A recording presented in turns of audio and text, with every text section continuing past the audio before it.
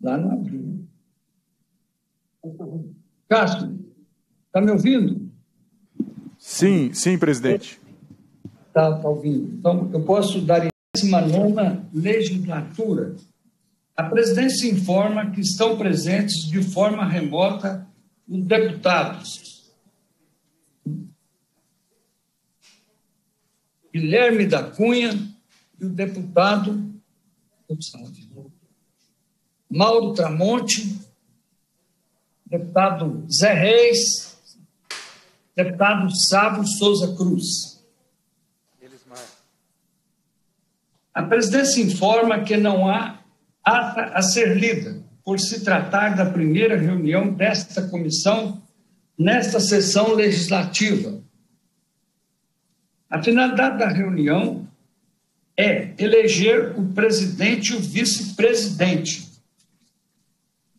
Registra-se a candidatura do deputado Cássio Soares para o cargo de presidente e do deputado professor Cleiton para o cargo de vice-presidente. Votação, vamos colocar então em votação a eleição para vice para presidente e vice-presidente. Para presidente, o deputado Cássio Soares e para vice-presidente, o deputado Cleiton. A presidência se submeterá à candidatura à votação pelo processo nominal, em conformidade com o artigo 259, combinado com o inciso 6 do artigo 9 do regimento interno, será eleito o candidato que obtiver o voto da maioria dos membros da comissão. A presidência vai dar início ao processo de votação para o cargo de presidente. Então, o cargo de presidente é o deputado Cássio Soares. Em votação, como voto o deputado Cássio Soares. Senhor presidente, considerando candidatura única, eu, eu voto em mim.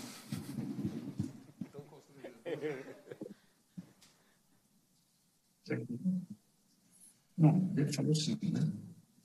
Como voto o deputado Zé Guilherme.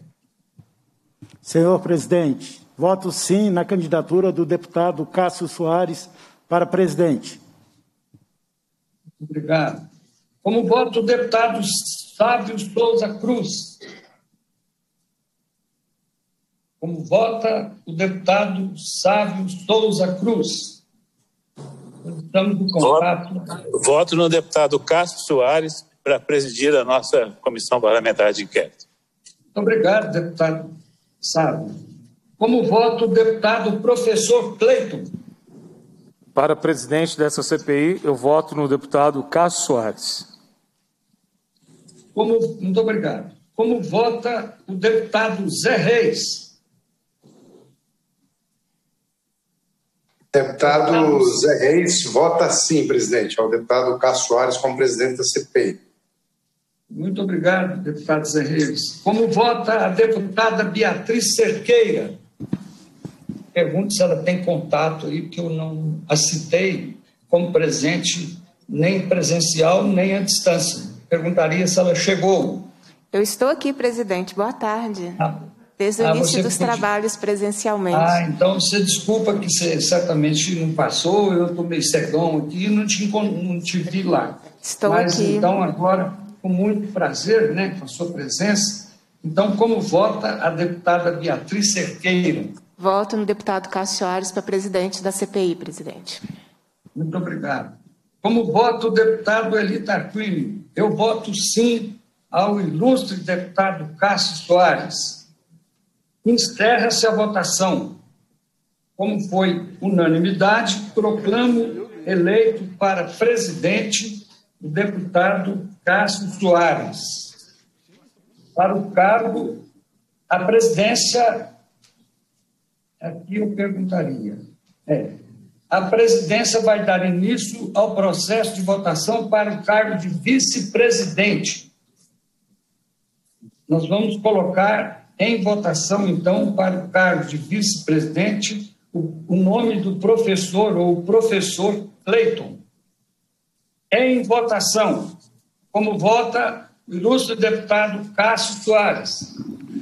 Eu voto o professor Cleiton para o cargo de vice-presidente, senhor presidente, doutor Eli. Muito obrigado.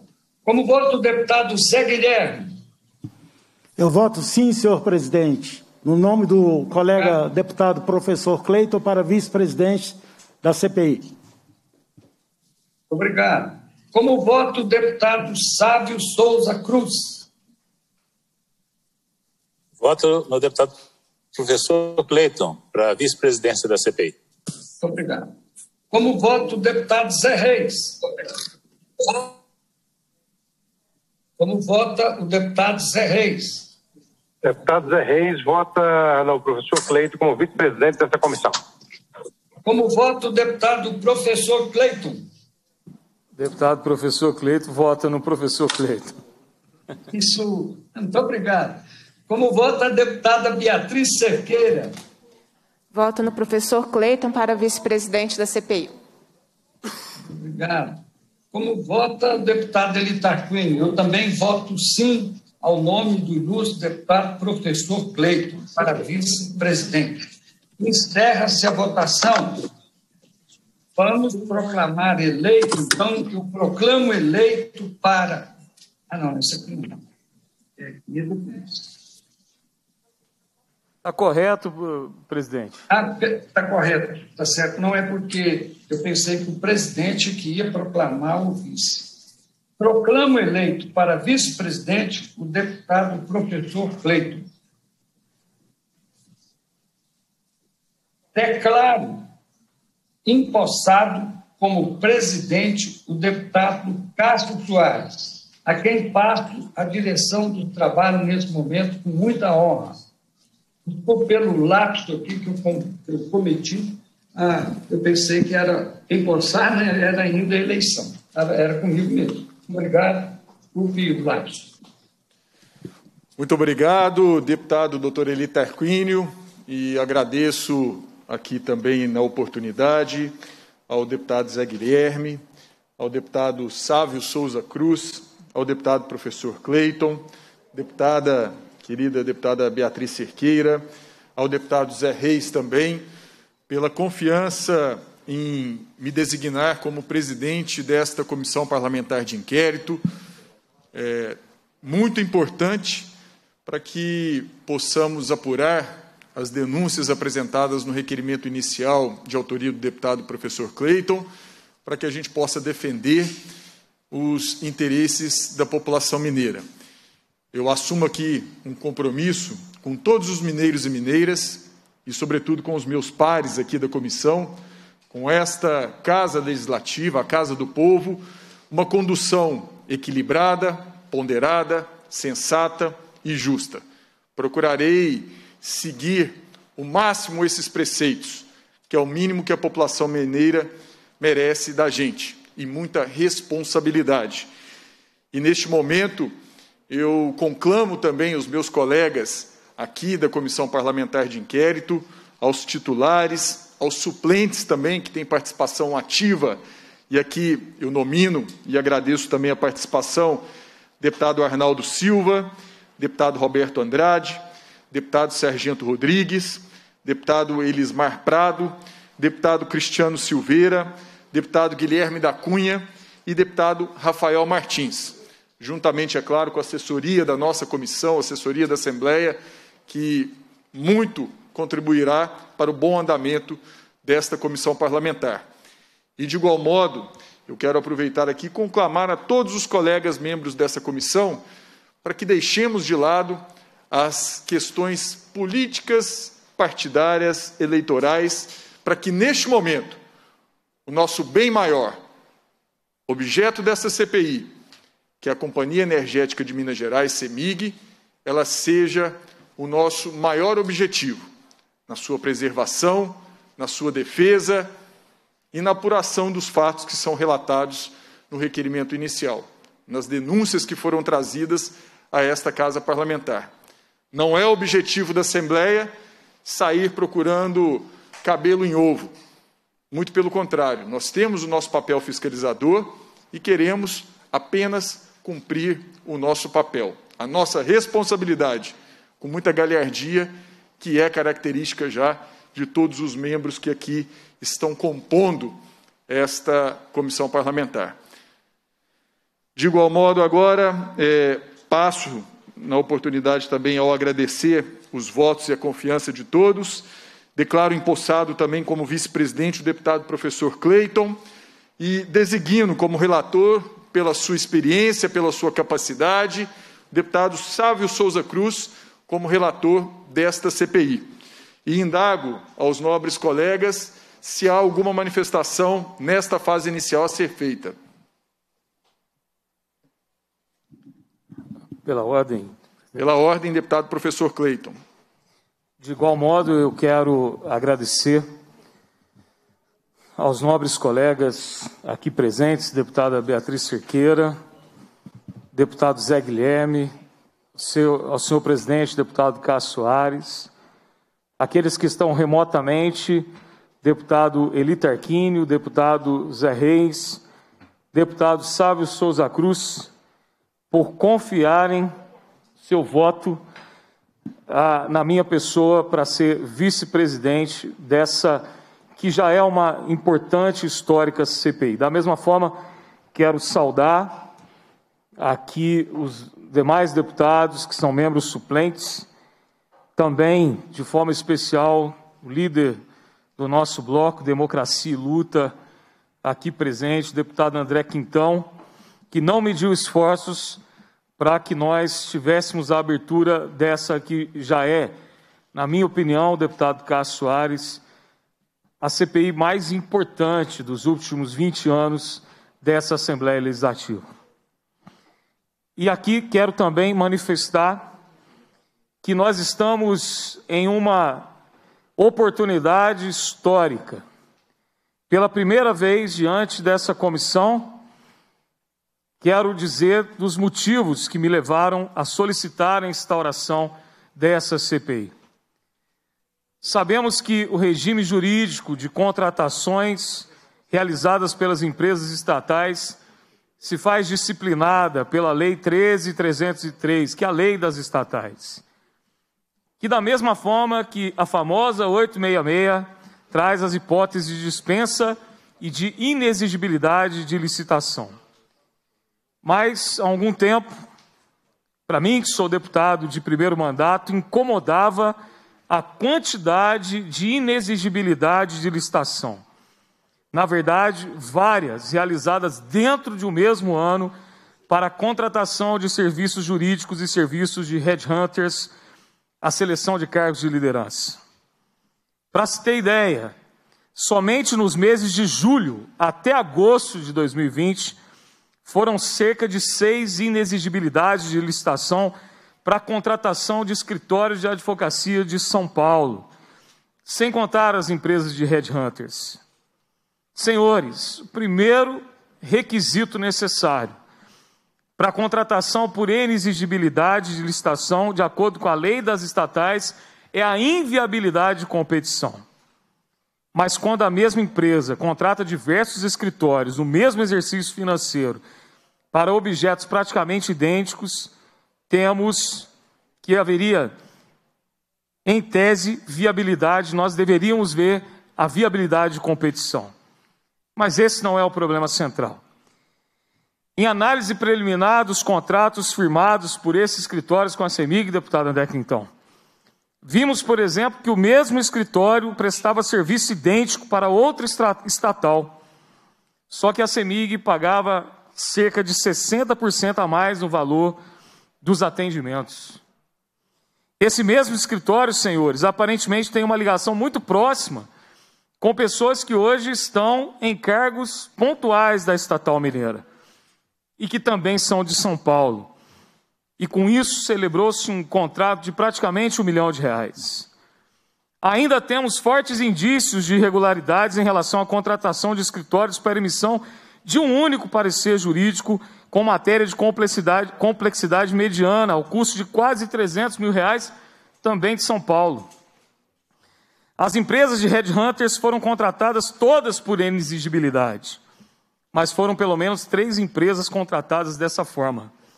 Ou seja, será que realmente havia inviabilidade de competição? Ainda uma mudança silenciosa de atuação da CEMIG de Minas para São Paulo, que também passa pela contratação de endereços via inexigibilidade de licitação na capital paulista e muito acima do preço de mercado, conforme uma investigação preliminar que fiz. Mas tudo isso faz parte de um projeto silenciosa que aparentemente pretende promover a quebra da CEMIG. Nisso temos a decisão de perda do controle da Light e o objeto que condutor que me levou a pedir essa CPI, a venda da Renova por um real. Quando nós temos em mãos uma oferta quatro meses antes de compra da mesma empresa por 580 milhões. Documento esse que nós vamos apresentar aqui nessa CPI. Abra aqui um parêntese só para acompanhar o processo de recuperação judicial da Renova que a CEMIG contratou. Via inexigibilidade, um escritório por mais de 6 milhões, para logo em seguida vender a empresa por um real. Por fim, esses mesmos escritórios estão atuando no processo de desinvestimento na Taesa, empresa mais lucrativa do que a própria CEMIG. Sem a Taesa, a CEMIG perderia cerca de 50% do seu faturamento. Com isso, viria a falta de investimentos, a precarização ainda maior dos serviços e, por fim, colocar a opinião pública e essa casa favorável a uma possível privatização. Sucatear para privatizar tem sido o modus operandi. Por fim, existe outro contato, outro contrato de inexigibilidade. Um contrato bilionário que merece ser esclarecido para o povo mineiro. Eu quero parabenizar o deputado Cássio Soares pelas suas palavras. Não é momento, não é hora de colocarmos aqui interesses políticos partidários acima dos interesses do povo de Minas Gerais. O que eu trouxe aqui no escopo inicial dessa CPI faz com que talvez nós estejamos, deputados Zé Reis, diante do, de uma nova guerra dos emboabas. Vou repetir o que eu estou dizendo.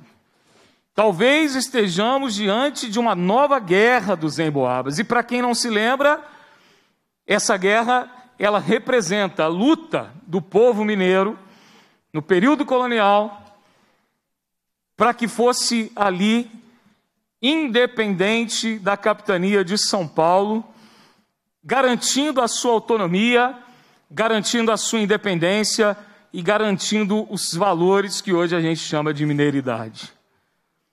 A paulistanização da CEMIG, com interesses particulares e privados acima do bem público, nos levou à abertura dessa CPI.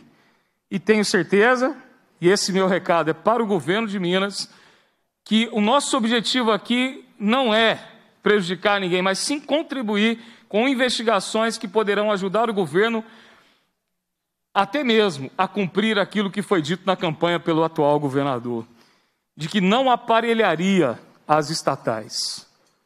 Quero, com muita tristeza, mencionar que chega ao meu conhecimento que existe uma lista de deputados que não devem ser que não podem mais entrar no Palácio Tiradentes, deputado André Quintão.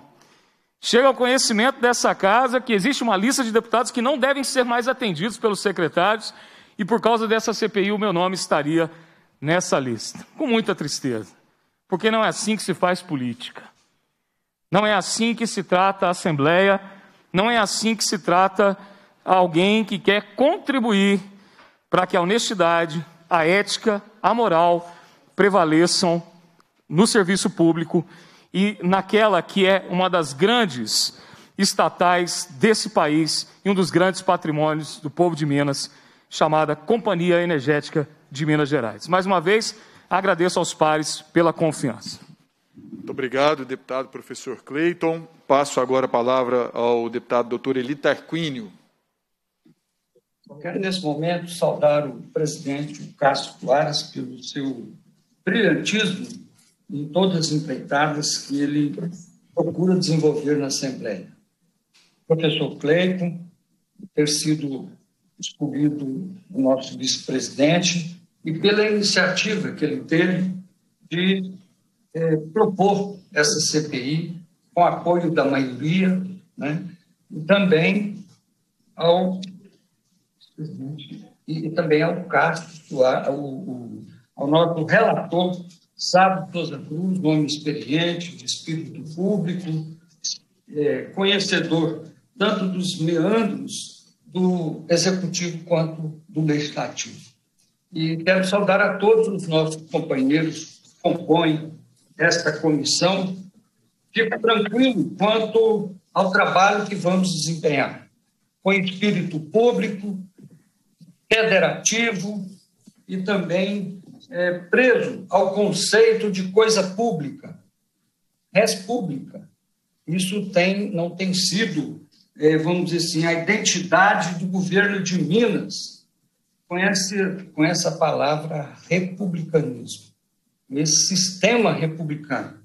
Muitas vezes nós já estamos vivendo aí a tentativa de imposição do regime de recuperação né, fiscal, é, que o governo mandou para essa casa muitos projetos, tudo no sentido da privatização.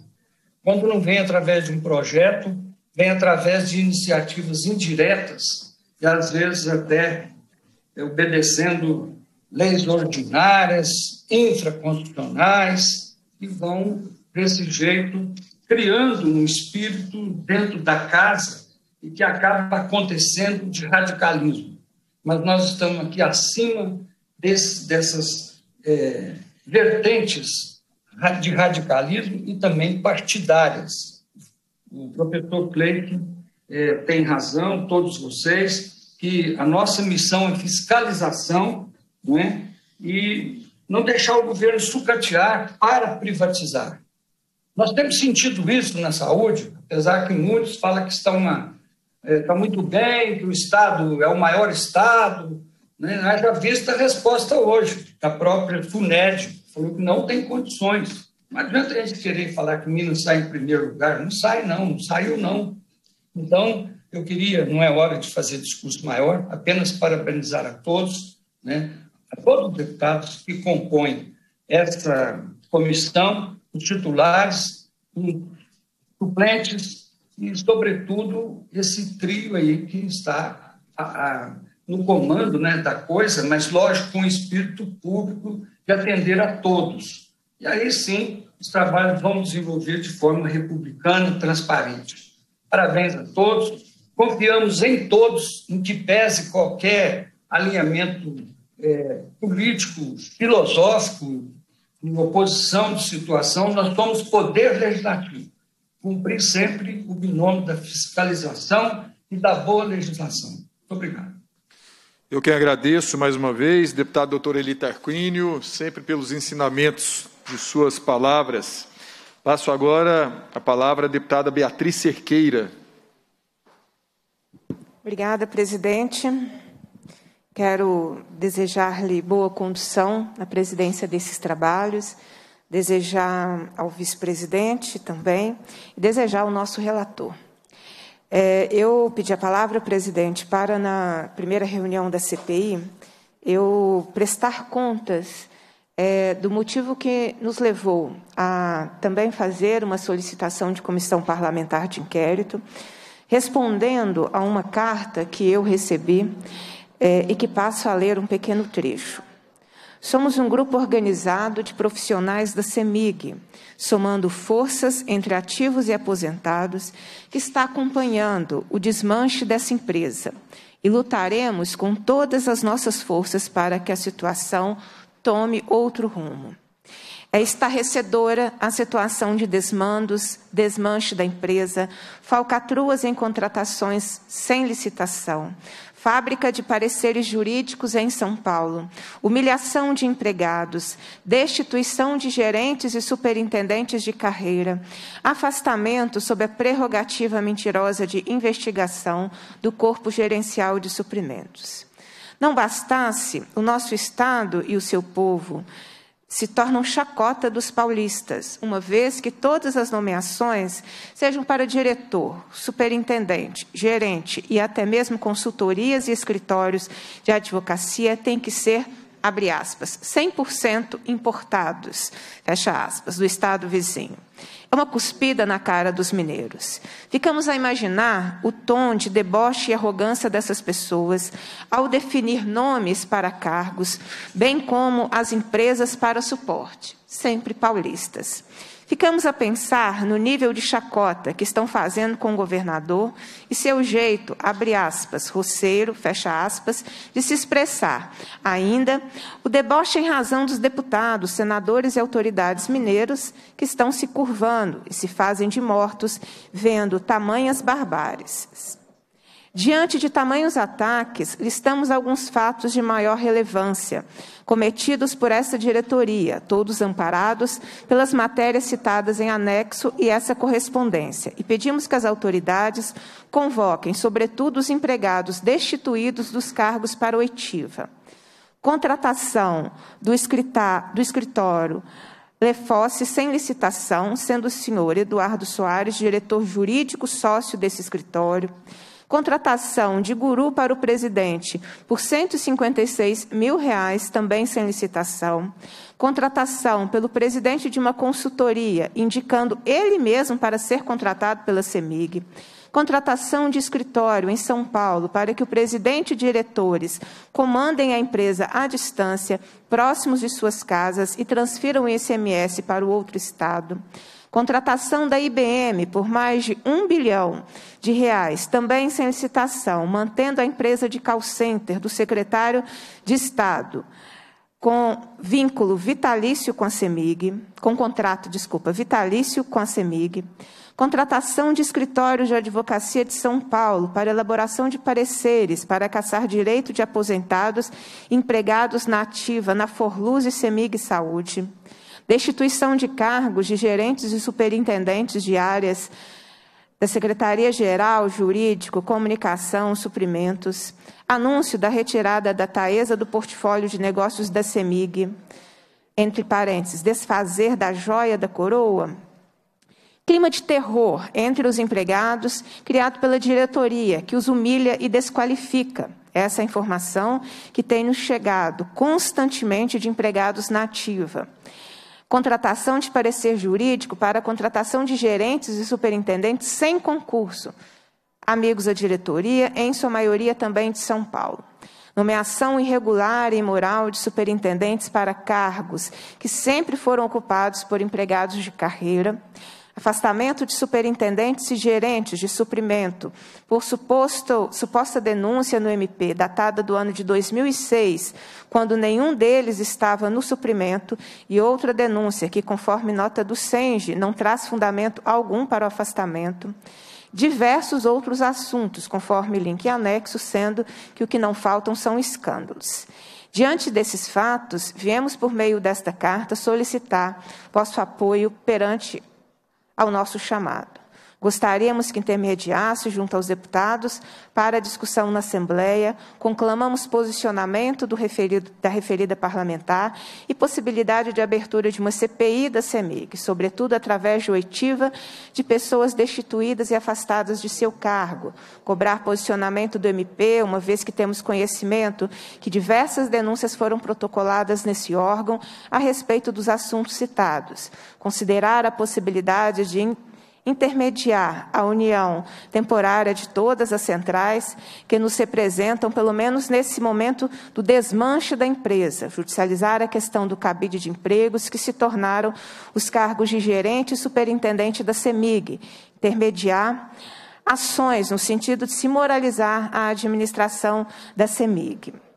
Ainda é importante ressaltar que o nosso pleito se dá no sentido único de ter uma gestão ética e transparente na empresa, não voltando o assunto para a privatização. Essa questão, em nosso entendimento, é de responsabilidade do dono da empresa, entre parênteses. E caso o governador insista em sua neurose contra a CEMIG, que tente privatizar, porém pelos meios legais do Estado de Direito, que propõe o plebiscito e siga o rito da Assembleia Legislativa, e não sabote ou destrua a empresa para forçar a privatização. Dessa forma, lutaremos com todas as nossas forças. E aqui assina um grupo unidos pela CEMIG, formado por trabalhadores ativos e aposentados. Recebi essa carta, presidente, no início do ano, nos cobrando um posicionamento de que, enquanto deputada estadual e Assembleia Legislativa, era essencial nos posicionarmos. A instalação dessa CPI e o início dos seus trabalhos é, então, uma resposta importante às diversas denúncias que têm sido trazidas aos parlamentares, a pelos órgãos de imprensa, que os trabalhadores da empresa têm nos contactado. Então, eu quero, nesse momento, na verdade, é prestar contas que nós tivemos uma união de esforços para que uma comissão parlamentar de inquérito, com a composição como essa, fosse instalada, e o nosso compromisso de fazer a luta para que esse aparelhamento que hoje acontece na gestão da empresa pelo governo Zema, ele tenha um fim que os trabalhadores sejam respeitados, preservados e que os interesses dos mineiros e mineiras nessa empresa pública prevaleçam. Então, eu presto contas àqueles que nos procuraram logo no início do ano, final do ano, no sentido de tomarmos, termos posicionamento. Estamos nessa CPI exatamente cumprindo essa tarefa. Desejo a todos nós que tenhamos um bom trabalho parlamentar e que possamos, de fato, cumprir essa tarefa, que é por fim a esse aparelhamento que nós temos recebido tantas denúncias. Então, essas as minhas considerações, presidente. Muito obrigado, deputada Beatriz Cerqueira, é, pelas palavras e, sem sombra de dúvida, terá participação importante. Além de todos os membros, titulares e suplentes da, desta comissão, eu quero também cumprimentar a participação aqui do deputado Mauro Tramonte, que acompanha é, a nossa reunião também. Com a palavra agora, deputado Sávio Souza Cruz, relator desta CPI.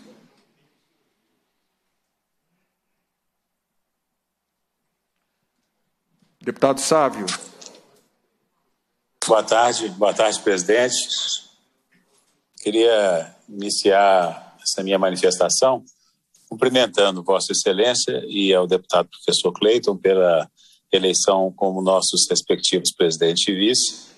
Queria dirigir uma palavra de agradecimento à generosidade, que já é uma marca desse nosso colega tão querido, que tanto engrandece a casa a nossa casa, que é o deputado Eli Tarquini, pelas referências generosas que sempre faz a meu respeito.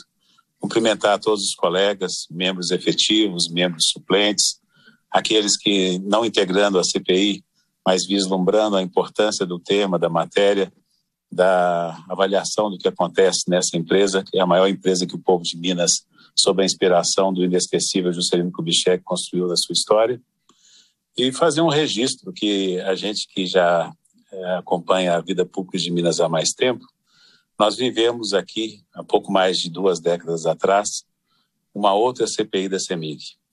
Deputado Eli Tarquini, com certeza vai se lembrar, deputado Sargento Rodrigues, esses com certeza vão lembrar comigo que em tempos passados houve uma conversa de que a CEMIG precisava ser oxigenada com a eficiência da iniciativa privada e foi então que se dotou a CEMIG de um chamado sócio estratégico que, embora sem aportar um real, é, recebeu um financiamento do BNDES para adquirir um terço das ações com direito a voto, é, cuidou de fazer um acordo de acionistas que garantisse uma distribuição de dividendos de pelo menos 50% do lucro, o que garantia que só o lucro a ser distribuído a esse sócio estratégico é, seria mais que suficiente para pagar o dinheiro público retirado no BNDES.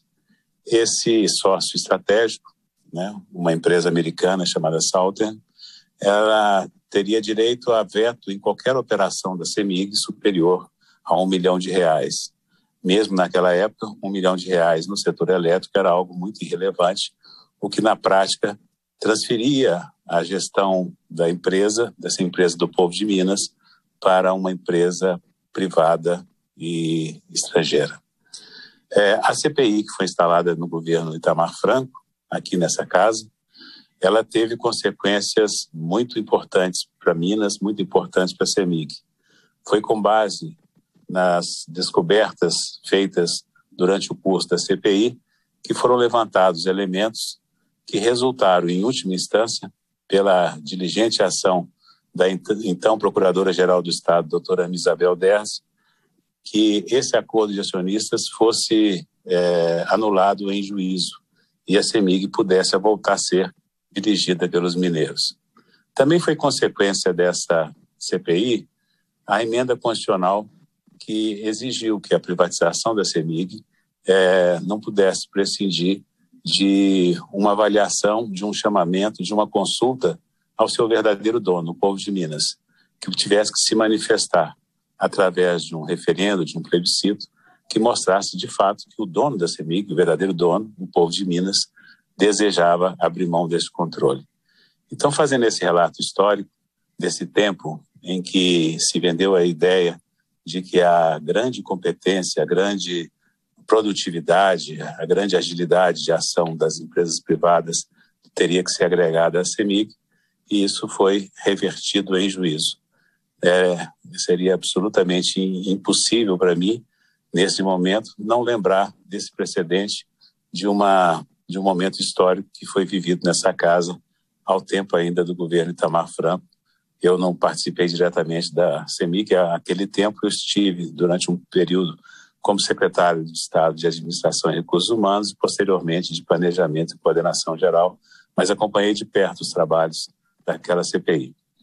É, portanto, eu fico muito, é, é, de uma certa forma, sensibilizado com a confiança que o nosso presidente, deputado Cássio, demonstra na minha capacidade de poder relatar, mas eu queria que essa relatoria fosse o mais plural possível, que todos os membros pudessem se sentir igualmente relatores. Aliás, eu queria é, formalmente convidar os dois deputados que apresentaram requerimentos de, de CPI, deputado professor Cleito e deputada Beatriz Cerqueira, para que oficialmente atuassem junto comigo como subrelatores. Mas todos os demais membros, titulares e suplentes, que pudessem atuar junto a mim ou junto aos subrelatores, contribuindo é, efetivamente no cotidiano para que a gente é, esteja à altura dessa missão de a gente avaliar o que acontece nessa que, como eu disse, é a mais importante empresa que o povo de Minas construiu na sua história. Então, eu tenho a, a, a grave é, sensibilidade da responsabilidade que cai sobre os meus ombros, só fico confortável em aceitá-la, sabendo que vou compartilhá-la com parlamentares do mais alto da mais alta competência, da mais alta responsabilidade e espírito público, é, tendo o professor Cleiton na vice-presidência, Cássio na presidência e todos os membros que eu tenho certeza não permitirão que nós não cheguemos ao fim e ao cabo dos nossos trabalhos sem dar uma resposta efetiva, uma resposta que o povo de Minas é, precisa receber sobre o que acontece nessa empresa tão importante e tão fundamental para alavancar o desenvolvimento de Minas. Né? O deputado Eli Tarquini falou sobre as questões de privatização. É curioso que o Brasil cogite privatizações na, na área elétrica, nenhum outro país no mundo faz isso nesse, nessa altura da vida. A gente observa parte, é, países fazendo justamente o, o oposto, né, voltando atrás em algumas privatizações havidas no tempo pretérito. Mas, enfim, não é dessa, né, não é disso que se trata se trata sobre a gestão que está sendo realizada hoje nessa empresa tão importante para Minas e nós vamos, ao fim dos nossos trabalhos, dar uma resposta se de fato está tudo bem lá ou se há necessidade de mudança de rumos, de correção de rotas, para que Minas possa continuar contando com essa empresa que sempre foi tão importante aos mineiros, que é a nossa Companhia Energética de Minas Gerais. Mais uma vez, agradeço a confiança do presidente, conclamo os nossos os dois sub, os dois deputados que aceitam a condição de subrelatores, deputado Beatriz Cerqueira deputado professor Cleiton, e aos demais é, suplentes e, e, efetivos que trabalhem junto com essa equipe da, da relatoria para que a gente tenha os trabalhos otimizados e faça o, o, o relatório mais adequado, mais justo, mais é, coadunante com a, com a realidade do que estiver de fato ocorrendo naquela empresa. Então, são essas as minhas palavras é, é, iniciais e termino como comecei, agradecendo ao, ao deputado Cássio, presidente da, da comissão, pela confiança em me designar para essa importante tarefa de relatar essa que vai ser, tenho certeza, como foi a, a outra CPI da CEMIG mais de 20 anos atrás, das mais importantes ações a acontecerem na Assembleia durante essa legislatura. Muito obrigado a todos. Muito obrigado. Deputado Sávio Souza Cruz, sem sombra de dúvida, fará jus à designação como relator. Não foi à toa que a escolha foi essa, diante de tamanho conhecimento que Vossa Excelência possui é, de tempos já da nossa Companhia Energética de Minas Gerais e, sobretudo, com a sensibilidade necessária para traduzir e refletir qual é o sentimento da população mineira nessas questões de privatizações, manutenção das estatais em setores estratégicos. Eu agradeço pelo aceite. Com a palavra, deputado Zé Guilherme. Antes, gostaria apenas de fazer o registro e agradecer a presença do líder de governo, deputado Gustavo Valadares, e também do deputado Antônio Carlos Arantes, que se faz presente neste momento aqui. Com a palavra, deputado Zé Guilherme. Muito obrigado, senhor presidente, deputado Cássio Soares. Cumprimentando e logo de início, deputado Cássio, pelas suas palavras, eu tenho certeza absoluta da sua isenção na condução dessa CPI. Pela sua capacidade, convivi com você por dois anos. Vossa Excelência foi meu líder, muito dinâmico, inteligente, preciso. Ouvindo a aula dos nossos queridos Dr. Eli Tarquínio, do meu grande amigo Sábio Souza Cruz. Eu tenho certeza absoluta que aqui será uma aula de conhecimento das nossas Minas Gerais e do problema que nos aflige. Mas a expectativa, senhor presidente, de toda a CPI é buscar a apuração de um fato concreto, determinado. E o funcionamento se dá de forma assemelhada às autoridades policiais. Por isso, não podemos politizar o debate. O que eu espero é que ela seja verdadeiramente independente e justa, com o único foco naquilo que precisa ser esclarecido. Temos que buscar, obviamente, o esclarecimento de todas as questões necessárias. Ainda é cedo para dizer sobre o aspecto temporal em relação aos governos atual e passados. Não cabe personificação na ação, não podemos agir contra o governo A ou B. Repito, a CPI não pode ser um instrumento político.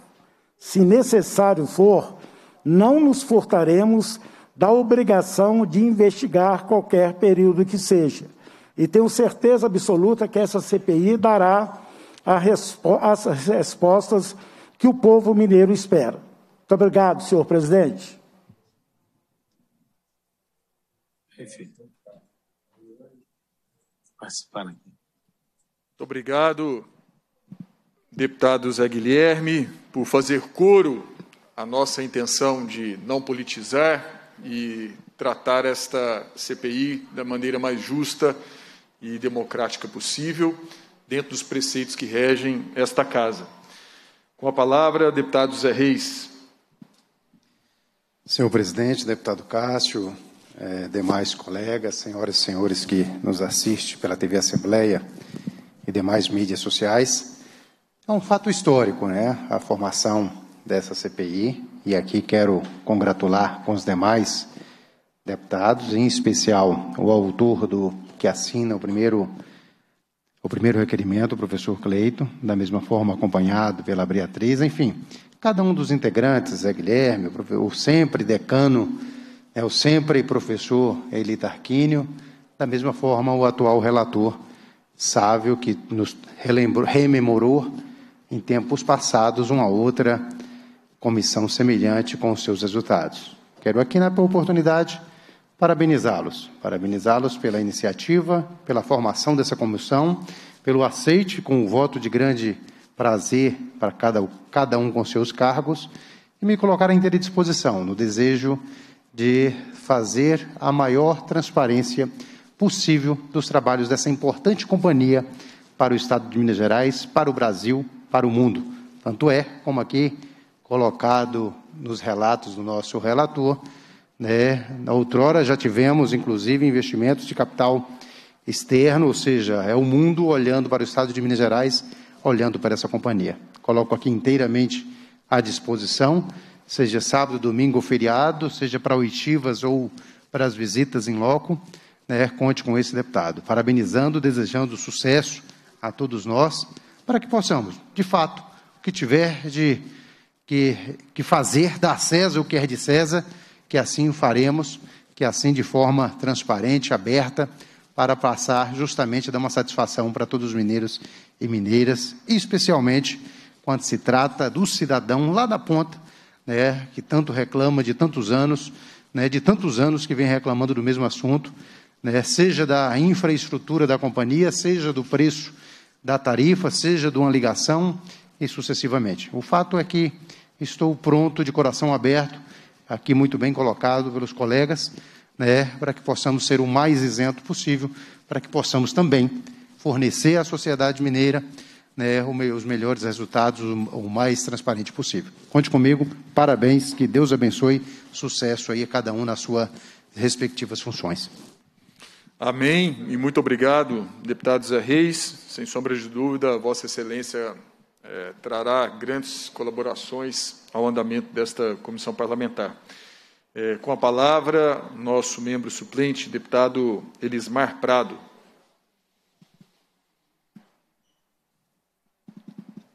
Boa tarde, presidente. Todos me ouvem? Sim. Presidente Cássio Soares, vice-presidente dessa comissão parlamentar de inquérito, professor Cleiton, Sábio Souza Cruz, nosso relator, enfim, todos os membros.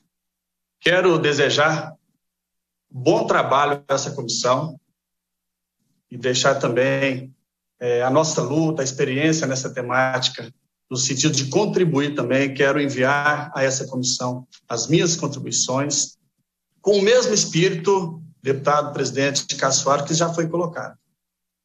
O espírito público, acima de qualquer diferença partidária política, interesse público do povo de Minas Gerais, dos consumidores da CEMIG, dos mineiros, porque a CEMIG é um patrimônio do povo de Minas Gerais. Não tenho dúvida que será com esse mesmo espírito que a CPI vai trabalhar, vai atuar, fazer seus levantamentos no sentido de defender a população. Quero deixar aqui o meu trabalho, a minha contribuição, vou acompanhar essa comissão, estarei sempre pronto para poder contribuir. Fui membro, inclusive, presidente da CPI que ocorreu em Brasília, quando fui deputado federal, CPI da energia elétrica. Naquela oportunidade, a CPI, sobretudo, investigou cobranças indevidas na forma do cálculo tarifário, ou seja, na forma como compõe a tarifa todos aqueles critérios que definem, de fato, qual será o preço que o consumidor vai pagar na sua conta de luz.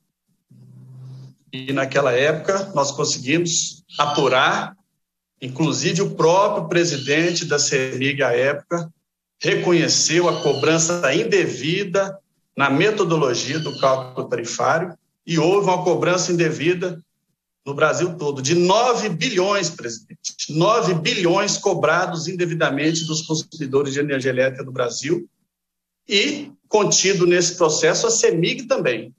O próprio presidente da CEMIG, na época, na CPI, em depoimento na CPI, comprovou, reconheceu essa cobrança indevida. E eu falo 9 bilhões sem contar com as devidas correções monetárias. Só para não delongar, presidente, só para citar isso sim especificamente com relação à CEMIG, nós acompanhamos aí o ano passado e esse ano, conseguimos a suspensão por dois anos consecutivos do reajuste tarifário da CEMIG, em função da incidência indevida, digo indevida, das contribuições sociais, como PIS, PASEP, CONFINS, na base de cálculo do ICMS que incide na conta de luz. Então, a CEMIG cobrou indevidamente 6,2 bilhões, repito, 6 bilhões e 200 milhões de reais. Por conta do nosso esforço lá na ANEEL, de todas as contribuições, recursos e da defesa dos consumidores na Agência Nacional de Energia Elétrica, a CEMIG foi obrigada a devolver já 2,3 bilhões.